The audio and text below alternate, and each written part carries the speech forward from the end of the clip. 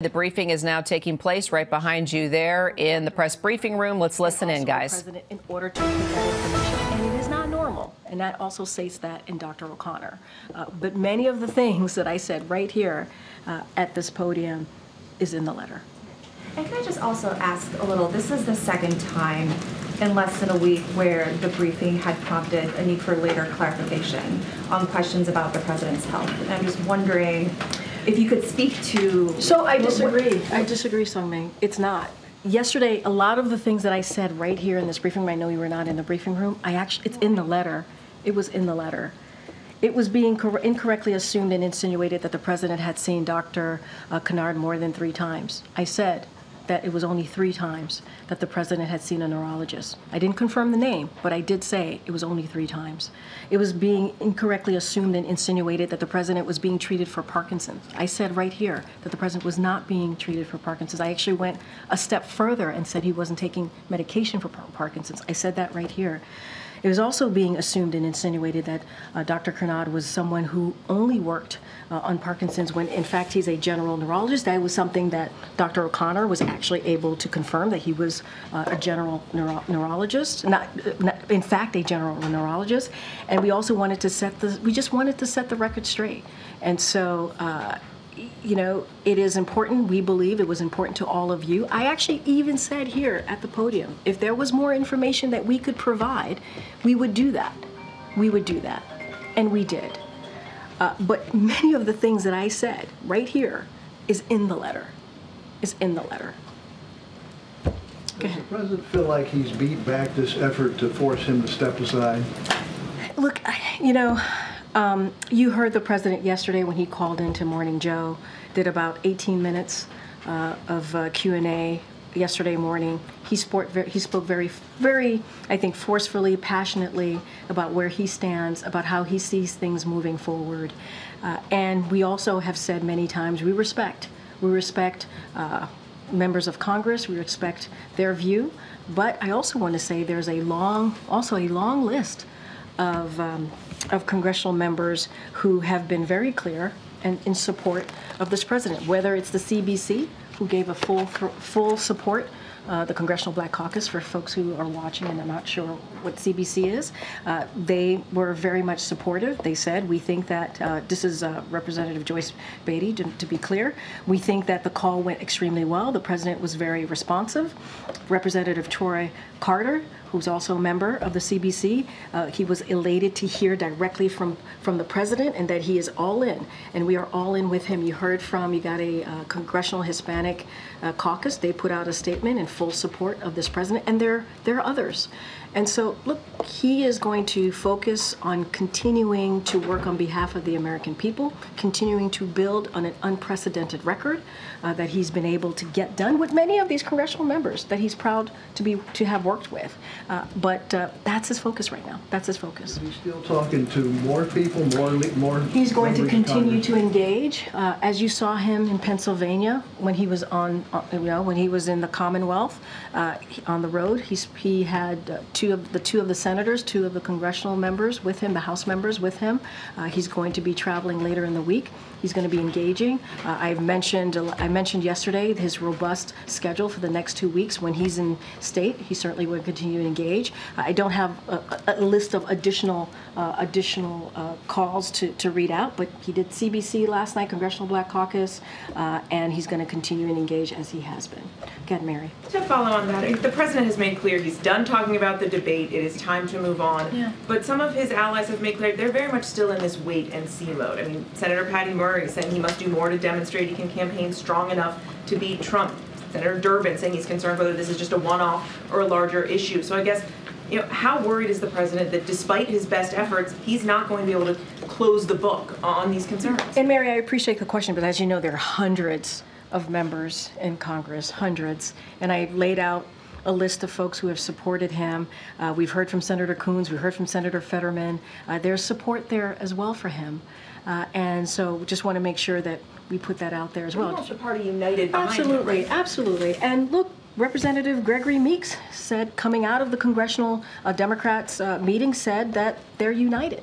And you just saw the Dem caucus leadership uh, take questions from some of your colleagues over uh, at the Capitol. Uh, So that is important as well to note. But look, he had a bad night. We've talked about it. Uh, he understands people's concerns. We have been out there, as we have been in previous months, but out there obviously in the past 10 days, more than 10 days now, uh, since, uh, since the debate.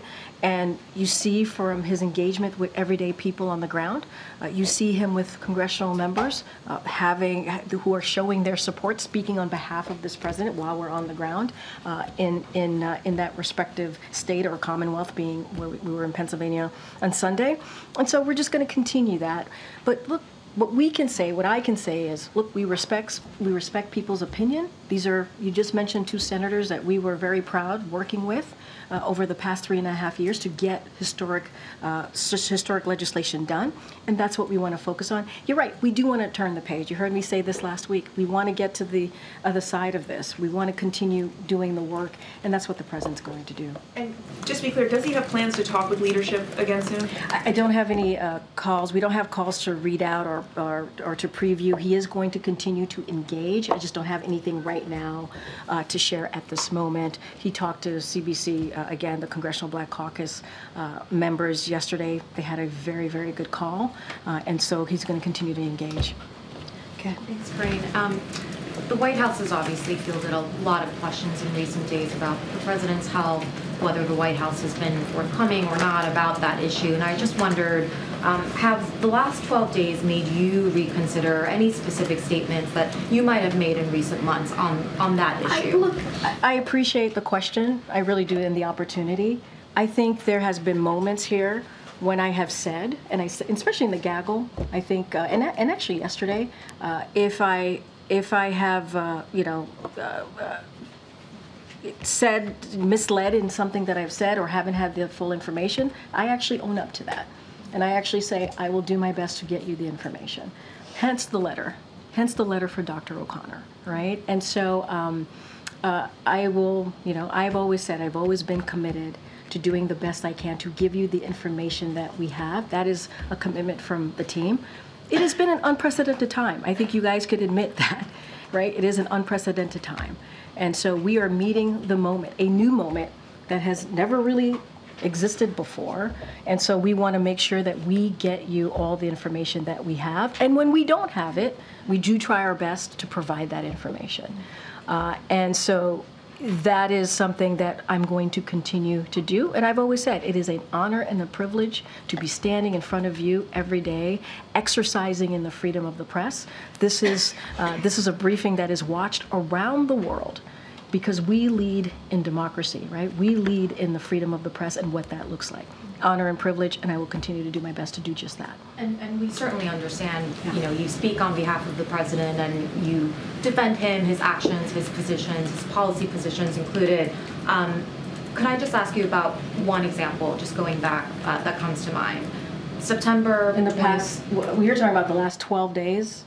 I'm, I'm talking about You just- recent, well, recent months. No, well, you just said recently, it's been, you know, we've been going back and forth. And so in the last, you know, 12 days or so, that was, that's how, I believe that's how you asked me the Yeah, I- question. I, I was talking generally. Okay. um, But if I could just ask you about one example. I mean, look, if you're going to ask me about something from months ago, it probably would be fair for me to, I probably won't be able to answer that right away, whatever it is that you're, you're going to say to me. Come back to. Yeah, yeah, I'm happy to do that. But, but it's also to, to say, hey, from September of whenever year, right? That is, uh, that is something that I probably should give a little space to kind of see exactly what you're speaking of. Okay, and, and that's fine if that ends up I, being no, I just want to make sure that we Sure. kind of give some context here. Yeah. Yeah. Um, and you'll remember this. Uh, this was an event where the president um, called out Congresswoman Jackie Walorski, Yeah. looked for her in the room even though she had recently died.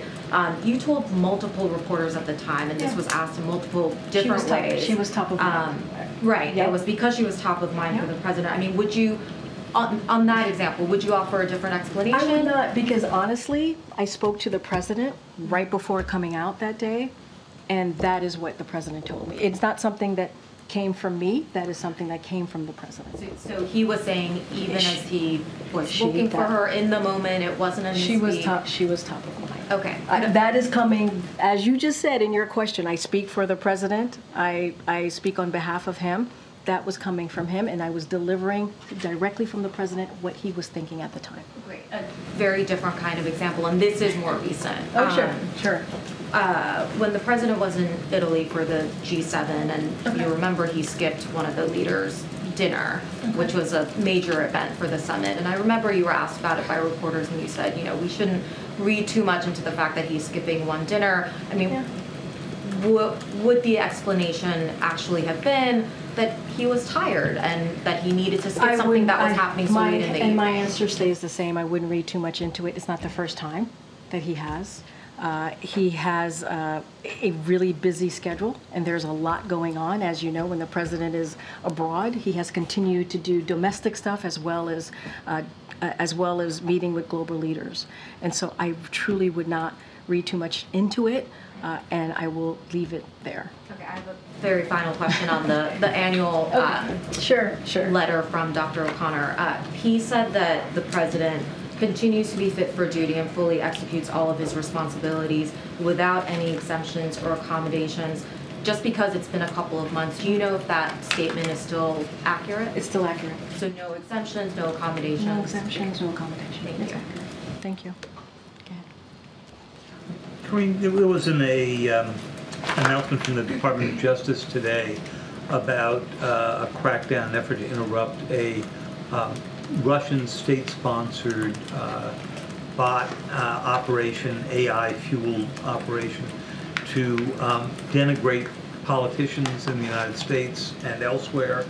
Um, Have have you, do you have any concerns right now that this is the leading edge of any part of a Russian effort to interfere in the election? Has the president been briefed on this? And have you seen any evidence that the Russians or other foreign powers have tried to seize on the uh, debate performance repeat some of the president's most embarrassing moments? So that's a very good question. Uh, I would have to talk to our team about those particular questions that you just asked. There were multiple questions uh, in your statement there. Uh, I would leave it to the Department of Justice as uh, what they announced. Obviously, that's for them to speak to. Look, AI has always been a concern. Uh, That's why the president uh, made some announcements recently, an executive, to take executive action on how we can deal with AI. We want to see more, more action, more fulsome action legislatively from Congress. Uh, that is something, it is a, it is a techno, a cutting-edge technology uh, that we need to get our hands on uh, and make, get a better, uh, uh, you know, better understanding of what it could potentially do. Uh, And so that is something that the pr- the president certainly uh, is looking, uh, is looking to make sure that we deal with this in a full, uh, whole of government way. Uh, On those particular questions, I would have to check in uh, with our, uh, with our team here, and obviously whatever's related to the Department of Justice in that, in that, in- in that statement, I would refer you to them. Yeah. Uh, you said uh, just a minute ago that the president wants to turn the page uh, on, the, on the last couple of weeks and get to the other side of this, where the White House wants to. Uh, you know, has President Biden seen enough uh, support uh, over the last 36 hours from fellow or from fellow Democrats in Congress uh, to now start turning the page and look ahead? I mean, what's his reaction been to uh, to what to what he's seen since Congress has gotten back?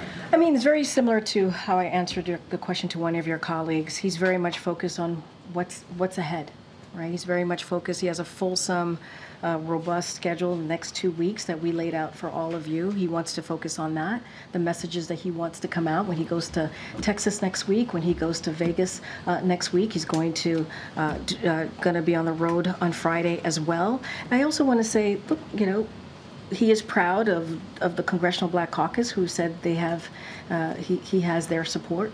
The Congressional Hispanic Caucus did the same, uh, and other and other members of con- of Congress, obviously. And so, look, he wants to move forward. Uh, as your colleague said, definitely unite the unite uh, unite the party, continuing to the, unite the party. Uh, we heard from Representative Meeks, who said that Democrats, uh, the congressional Democrats, came out of the meeting today uh, united. I think that's important to note. Uh, but the president's going to move forward. He's going to move forward, and he's going to uh, continue to go out there, engage, engage with the American public, like you saw him do in Pennsylvania, and he's going to stay focused on that. What do you feel? Does he feel like he's weathered this storm, so to speak? Look, I think that he is more determined than ever uh, to continue to get the, the job done, to continue to uh, build an economy that, that uh, works for all, uh, to continue to make sure that we have a middle class, right, that is, that, that is strong, right, that we don't have a trickle-down e- economy, that we economy that's built from the bottom up, middle out. That's what he wants to continue to do. I think this week with the NATO summit, the 75th year of NATO. Let's not forget, NATO uh, has helped to protect Americans and, for, and also protect uh, the world and what it's been able to do for the past 75 years. You're going to see the president uh, engaging with uh, 32 uh, uh, leaders of this alliance. I think that's really important. That's, again, on behalf of the American people. So he wants to do that. He has a lot on his mind, and as, as it deals with uh, making sure we deliver for the American people, that's what he's going to focus on. Okay, okay, Peter, I know. I know we had our chat yesterday. Yes, thank you, So Karine. Does President Biden commit to serving a full second term if reelected? Yes. Thank you. Uh, We know the president says that his health is fine, but it's just his brain, and that he's sharpest before. He was joking, by the way. I just want to make sure that that's out there. And people, people, pe- he was making a lighthearted joke as he was he speaking off. He was speak, he's speaking off the cuff, and he was making a joke. You know the president; he likes to joke a lot. He's Okay. the same guy who says, "I know I look 40," right? So he likes That's to make joke. jokes. It is a joke. He, Okay. I think people laugh when he says it. Well, he So it also said he's, he's sharpest before 8 p.m. So, say that the Pentagon at some point picks up an incoming nuke. It's 11 p.m. Who do you call? The First Lady? He has a team that uh, lets him know of any of any news that is pertinent and important to the American people.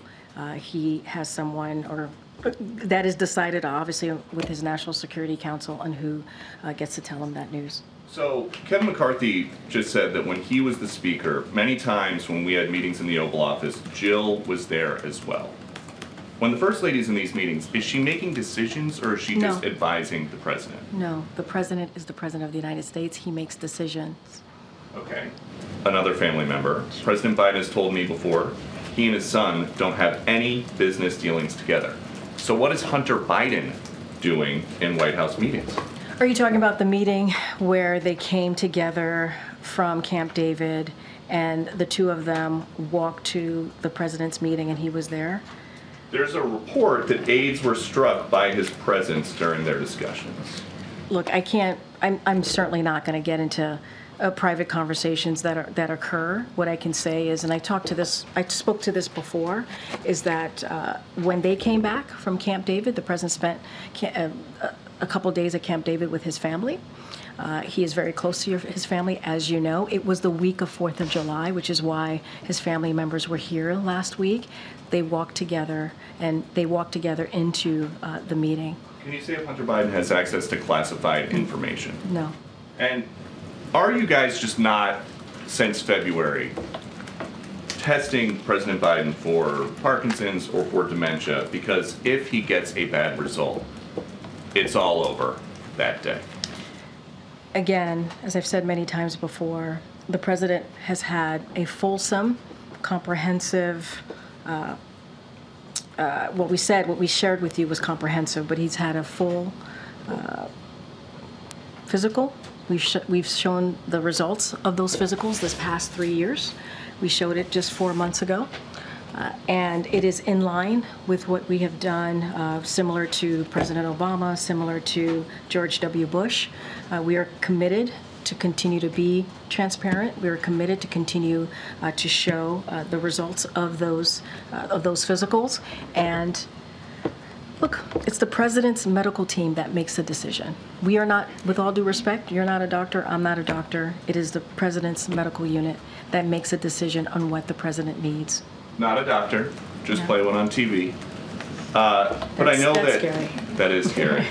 but I know that, especially as adults get into their 80s, health conditions can pop up more than just once a year when he's getting his physical. I think if my wife saw me on TV misspeaking or saying the wrong thing or seeing a change in my appearance, she would probably say, let's go to a doctor just to make sure that you are okay, you have a family, you have an important job.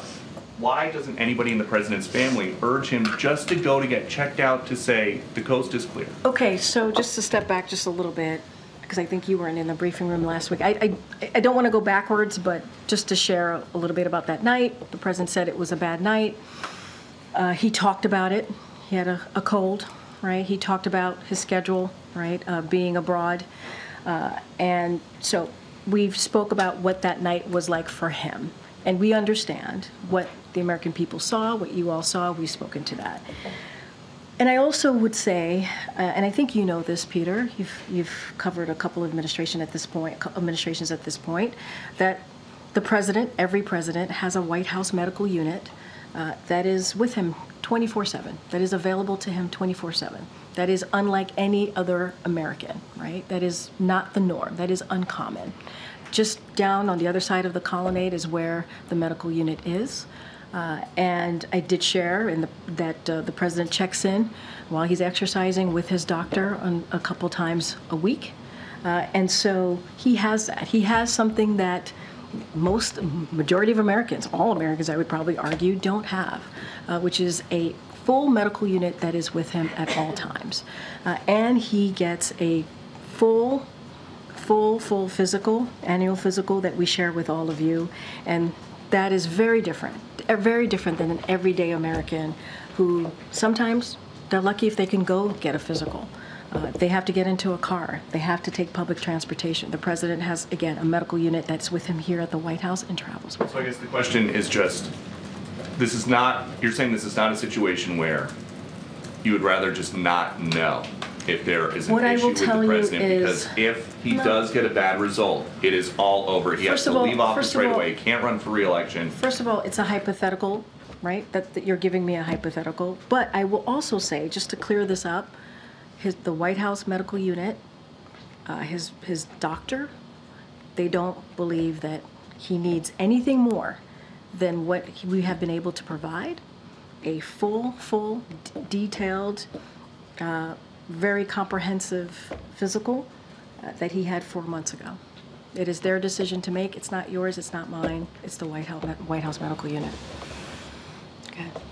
I agree. And you mentioned that the Democratic Party was united, perhaps leadership, but a lot of rank and file Democrats have a lot of concerns. One of them, Steve Cohen, said today, not only are they not on the same page, but they're not even in the same book. How does the White House, is the White House concerned about that? We, I've said before, right, we respect congressional, congressional members. They have their opinions. We respect their opinions, many of them that we've got, we had to, opportunities to deliver really, really good results on behalf of the American people. But there is, the whole Congressional Black Caucus, they support the president. The Congressional Hispanic Caucus support the president. Those are pretty impressive numbers. Uh, Senator Coons, Senator Fetterman support the president. There's also another list here that shows support for this president. You're going to have some congressional members who feel differently. It is that is that is up to them, right? The president wants to continue. He's going to have those conversations. He's going to engage with congressional members. He's going to continue to do that uh, as he has. Uh, that's not going to stop. Uh, obviously, the campaign is doing their work. We're doing, uh, continuing our engagement with congressional members as we do uh, pretty much all the time uh, on whatever issue we want to work with them on. So that's not going to change. You heard from uh, AOC, the, congresswoman from New York. She said the matter is closed, and I support him. Right? You heard from Maxwell Frost, who was on CNN uh, today, gave was very supportive on CNN. So you do have others out there, just today, just today or yesterday, giving support to the president. I can't, you know, it, you're mentioning one person, but there are others as well. Um, Yeah. Oh, on a separate topic Sure. slightly. Cedric Richmond this morning, he said that the, uh, the debate stage was words, the debate stage was performance. I would say look at actions and accomplishments. Uh, President's allies have made some version of that argument to not pay attention to what he said on stage, but what his accomplishments uh, are. But when you're when you're the president of the United States, don't words matter? So, when you're the president of the United States, uh, I think any kind, any leader, right, especially including a former president, your words do matter. You're 100% correct. Uh, the president has owned up to that night. He said it was a bad night. He said this. He said this many times. He's even said he screwed up. So those are the president's words. That's all I can give you at this time. We do believe that we should not just look at the 90 minutes. The president has had has done more than any other modern day presidents, administrations. Historic, historic things have gotten done. When I was watching the Democratic caucus, they talked about $35 uh, insulin, right? Capping that. When you think about seniors who are paying hundreds and hundreds of dollars, we were able to get that done uh, because of a, a very important piece of legislation that we, mo- we moved through, right? Uh, and only Democrats made that happen. That's also because of the leadership of this president. And that's just one. That's a bipartisan infrastructure legislation. There's the CHIPS and Science Act. There's the uh, the PACT Act for our veterans. I mean, there are things that he's been able to do that elected officials, presidents before him have been trying to do and could not getting done, get done, beating, uh, beating big pharma. So there is a long list of impressive things that this president has been able to get done, getting us out of the pandemic, that we do believe is important to note here as well uh, as an accomplishment of this presidency. Another question that I don't think has been asked, correct me if it has. Um, the White House and also the campaign has said that he had a cold that night. He then went to a watch party afterwards, which you have brought up. I was at that watch party. If he did have a cold, why then push him to another event where he spent some 45 minutes along the rope line? I mean, and not just a, and I would add to that, it wasn't just a watch party. We landed at 2 a.m. in the morning in North Carolina. He greeted hundreds of uh, North Carolinians in North Carolina. He woke up the next day in North Carolina, gave uh, a speech uh, in front of uh, in front of thousands of North Carolinians. was it No, no, no. I, contagious? I'm, I'm just I'm just trying to lay. You give you gave me an opportunity, and I'm just using that opportunity, obviously, uh, to lay out what the president did in those uh, two and a half days. Look, you know, one of the reasons that we shared that he had a cold is because during the debate in real time, everybody heard his his hoarse voice, and folks asked, and we were able to com- we were able to confirm right away that he had a cold, uh, and that um, and that he was also tested negative for for COVID. So. We were able to share that i- in real time, so just also want to share that. Look, he pushed forward, right? Many of us have colds and we still push forward. He's the president of the United States. He understands how important it is uh, to continue to get up every morning, regardless of how you feel, right, to get things done. That's how this president is. I'm sure, I'm sure that's how many presidents before him were as well, when it comes to really not letting a cold get you down. Uh, and and I think that's also why he pushed forward uh, in the debate uh, also um, on on that night. So look, he pushed forward, tried to get things done, wanted to make sure that he had an opportunity. People who watched him do a debate, who were waiting for him, people at two o'clock in the morning in North Carolina who were waiting for him. He wanted to make sure that he engaged uh, with Americans. And finally, Karine, um, this morning House Speaker Mike Johnson said, as he has before, that Democrats have been covering up the president's mental acuity for years. How do you respond to that? And has the White House misled Americans? Uh, so I will say this uh, Americans out there, folks who are watching, who are not normally in the day to day of what's happening in this world, there is a comprehensive uh, medical, full comprehensive medical report uh, on the website, whitehouse.gov. I would encourage them to take a look, to take a look. Read, read that report, uh, and they can also read for themselves uh, what his his you know specialist, a group of specialists uh, of uh, coming out of the medical unit decided on what they examined, what they saw, what they reported on. I think that matters as well. Uh, it is a group of them that come together when it comes to doing their physical. It is extensive physical. And so there is something there for them. It's transparent, it's out there, it's for them to read, it's for the American, not just for you, for the American people to take a look. Uh, and I think that's important to note as well, and that's what I would share with them. Okay, and I'll come to you, Ed, in a second. Go. Thanks, Karine. Um, the president said yesterday in his letter, in his interview, that he talked to a wide range of voters. He overwhelmingly heard from people that they wanted him to stay in the race. Our polling shows that 76% of Democrats think he is too old to run this year. How is he coming to this conclusion? Are you sure that a handful of events is giving him a representative view of swing state voters? So look, I mean, look, that has been. You all have asked me about polling and his age for I feel like a year now. It's come up many, many times. Uh, and, you know, I'm not going to speak to polls. It's not something I'm going to do from here. I'm just going to let the experts, the pundits, and all of you. No, no, poll, wait. I, I was. I was about to answer your question. Just give me, give me a second. Look, for the past three and a half years, the president has been out there talking to voters. And if you think about, and I, what he was referring to when we went to, uh, when he went to Atlanta right after the watch party, he saw he he literally did a rope line. Some of your colleagues were there. Some of your colleagues spoke to uh, some of the folks who were there and heard from them directly. He heard from folks at the rope line. I mean, these are everyday engaging with everyday people. That's what he did. Landed at 2 a.m. In, in the morning in North Carolina. Hundreds of people there. He did a rope line, engaged with everyday people. The next day, thousands of folks, thousands of people were at the North Carolina event and you heard chants, let's go Joe, we love you Joe. I mean, that's something that you feel, right? That's something that you feel uh, out there. And that's what he feels out there. The next day he went to New York uh, and he was able to spoke to to speak to some supporters there and then went to New Jersey. So it is a continuation. On Sunday, 600 people at the church. The whole if you watch that that's that uh, uh, that service, you heard you heard from that congregation. If you watched him in Harrisburg, you saw people. You saw him engaging with people.